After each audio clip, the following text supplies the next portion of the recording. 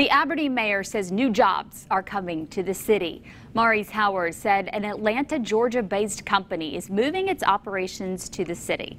WTVA's Wayne Herford joining us live to talk more about the company coming to town and how many people will soon be going to work.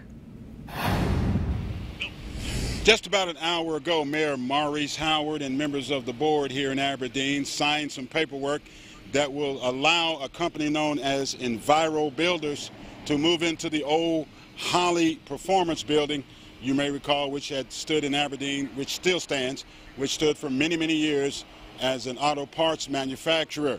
The mayor says he signed that contract with the company in order to bring jobs to Aberdeen.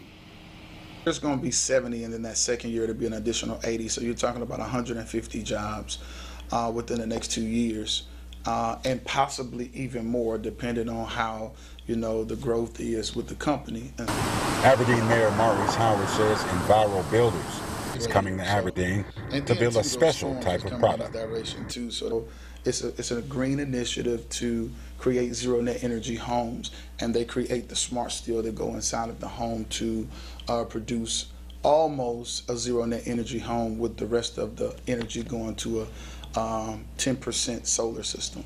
Mayor Howard says the building here is the perfect location according to the owners of EnviroBuild. They also say that even during this pandemic, they're looking to push forward and to continue to grow. Bigger blessing for us because, you know, it's unfortunate that it is a, a, is a pandemic that the world is faced with, and at the same time, a lot of business owners are not looking to grow. They're not looking to develop you know, but you know, this owner here understands uh, what his what his company can bring to the city of Aberdeen as well as uh, our entire region. Mayor Howard says once the company starts rolling and manufacturing its products, there will be jobs paying anywhere from 14 to 18 dollars an hour, which he says is very competitive with the wages in our region. Reporting live here in Aberdeen, Wayne Herford, WTVA 9 News.